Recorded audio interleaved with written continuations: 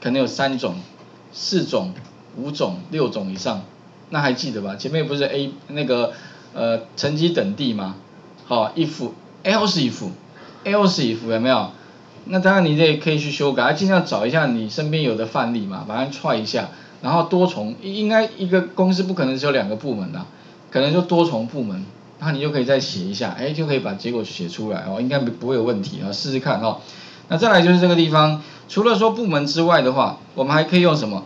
一个大于多少五万，条件在这边，要加起来人数在这边，也就是说哈，台北销售它有销售什么？啊，如果我今天希望把销售金额大于多少五万的这些人加起来有几个人？那我就直接的插入一个函数，一样去用到那个最近使用过的好了，因为用过都会在排在最前面。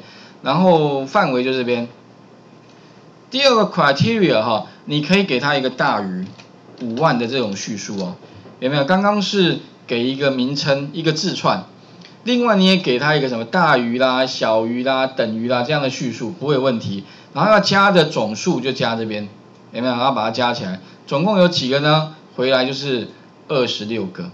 那当然哈，你也可以在旁边再多做一个练习。不过你会发现哈。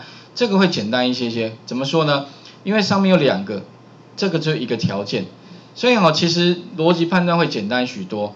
那这个判断的方法，当然第一个了哈，你也可以把这个复制贴到下面来。那改哪些地方呢？其实你会发现两个很像哦。第一个把奖金啊改成销售额嘛，啊，第二个就是回圈范围，对吧？这个回圈范围呃三到七。改成十五到十九，另外的话呢，哈，因为它的逻辑判断有没有？上面会有 else，可是这边没有 else，为什么呢？因为它就只有一个条件，是不是大于五万？所以底下的逻辑比较简单一些些，底下的逻辑是一重的逻辑，哈，然后呢，上面逻辑是两重的逻辑，因为不是销售部就开发部嘛。那下面的逻辑是什么？不是大于五万，那反之就是小于五万嘛，对不对哈？所以这个是一重而已哦。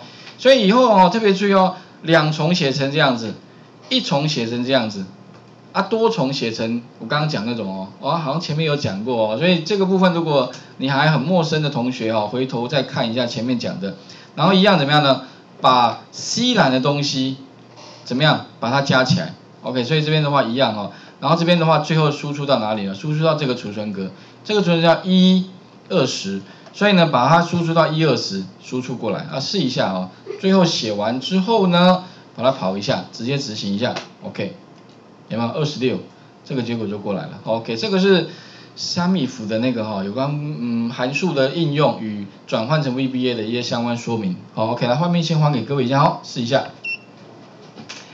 那当然可以的话哦，诶，动作快的同学最好是重写一遍，动作稍微慢一点的话，你可以衡量一下。如果你实在比较跟不上的同学，你可以拿云端的东西先贴上，run 一下，啊，然后再小改一下啦，哦，把一些东西 delete 掉，重新自己打打看。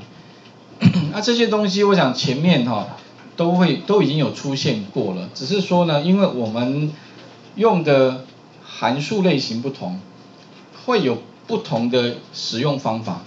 哦，不过大致上的基本结构都一样嘛，哦，写来写去，我你会发现我写来写去都是写这些行，那它们作用主要怎么样？实际上就是处理试算表里面的储存格、范围，再加回圈、逻辑判断，输出你要的结果，哎，无外乎就这些嘛，哈，用来用去其实也差不了多少，哈，那只是稍微做个变化了，哈。